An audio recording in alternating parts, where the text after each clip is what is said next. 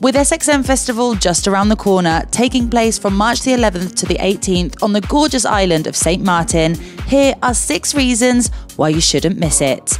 Number one, a party in the Caribbean under the sun and stars. Uh, yes, please.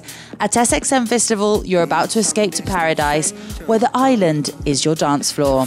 Number two, you'll meet some incredible people from all over the world who are all united by their love for music. Number three, the lineup is so unique. From world renowned headliners to local artists, each day brings something new, catering to every desire and mood. Number four, the venues. From beach parties and villa gatherings to underground nightclub sessions, mesmerizing hilltop sunsets, and champagne drenched afternoons by the pool, you'll be spoilt for choice. Number five, there's so much to explore and discover on the island of St. Martin.